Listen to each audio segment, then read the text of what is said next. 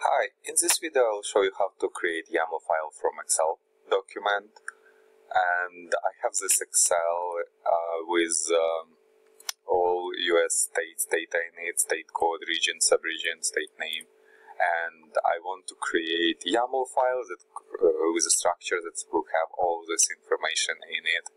So I created an app to convert these uh, files from Excel to YAML. This is my website. I will leave link to description. And to download app, I double click on the download button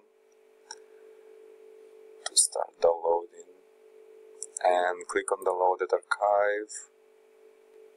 Double click on MSI. Click on more info. I'm getting this screen because I'm not registered publisher. You can see publisher unknown. I'll click run anyway to start installation click on next, next install, click on yes, and click on finish. You can see that shortcut has been created on my desktop. I can close this and minimize this. Now uh, I will start application by double click on shortcut.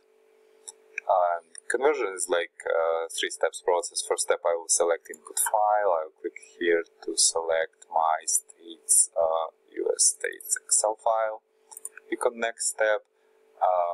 If my first row in Excel file has column names, like uh, on, on, the top row is a name of the columns, like state, code, state, uh, region, so I will leave it is checked, then click on next step, and I can preview uh, YAML data if I want. I can click on this and I can see the YAML content uh, created from Excel. Or I can say click on save results and specify folder when uh, file will be created and just hit save and file will be saved in this folder.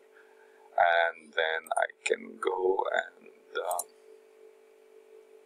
and you can see this file. So basically that's it. Um, thank you